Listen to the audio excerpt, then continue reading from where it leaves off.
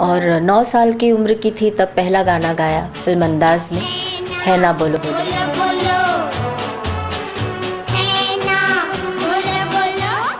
बहुत खुशनसीब हूँ मैं कि शंकर जयकिशन जी हसरत जयपुरी जी ने गाना लिखा था। रफ़ी साहब सुमन कल्याणपुर जी उनके साथ ऐसे दिग्गजों के साथ पहला ही गाना पहला ही काम मिला मुझे। 1969 में रिकॉर्ड हुआ था गाना। आज ही के दिन 7 नवंबर लेकिन उस वक्त धनतेरस का दिन था दिवाली के दिन थे। और रफ़ी साहब ने मुझे मेरे साथ एक और बच्ची थी प्रतिभा बोर्डेकर। हम दोनों को सौ सौ रुपये दिए थे इनाम।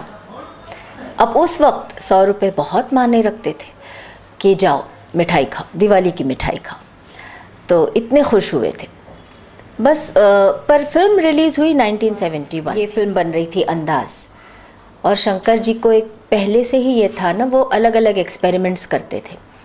अब वो ये एक्सपेरिमेंट करना चाह रहे थे कि बच्चों का जो गाना है, मैं बच्चों से ही गवाऊँगा।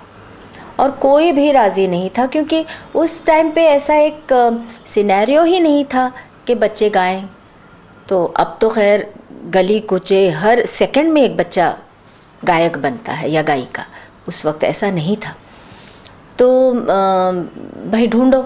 अपने सारे सिटिंग मेंबर्स से कहा, जो भी बच्चा अच्छा गा रहा हो या तुम्हारे ध्यान में हो, मुझे बताना। तो चंद्रकांत जी ने मेरा नाम सजेस्ट किया और ये कहा कि मैं भोला जी की बेटी हूँ।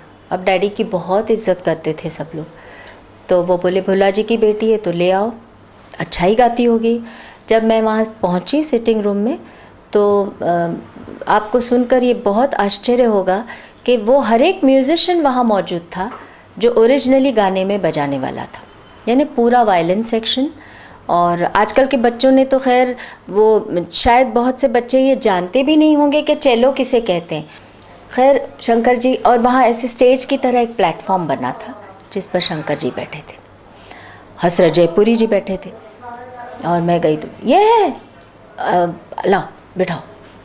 तो बोला, सीखती हो? मैंने कहा हाँ जी। तो बोले, क्या? मैंने कहा क्या सुर से गाती हो? मैंने कहा, काली एक। अरे वाह, सुर भी जानती हो? चलो गाओ। क्या गाऊँ? मैंने पूछा। सारे गा गाओ। तो मैंने, सारे गा पा। पंचम तक ले गए, बोले, बस। बोले, अरे क्या तू? उनको चंद्रकांत? तू तो डरबी का घोड़ा उठा के लाया है। इस तरह से बोले। बोले, इसे ले आओ। मेरी मौसी को बोल मौसी और मामा जी साथ हर जगह जाते थे।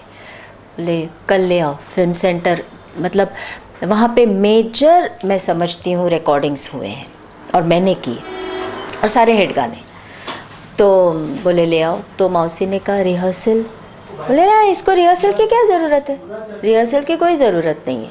डायरेक्टली ले आओ। तो दूसरे दिन हम पहुँच गए। आज ही का दिन, जैसे मैंने बताया, सात नवंबर 1969 धनतेरस का दिन। बस गाना रिकॉर्ड हो गया और आई थिंक वो गाना तो एक नेशनल एंथम बन गया था। है ना, बोलो बोलो, पापा को मम्मी से प्यार है। पर फ़िल्म रिलीज़ हुई 1971 में।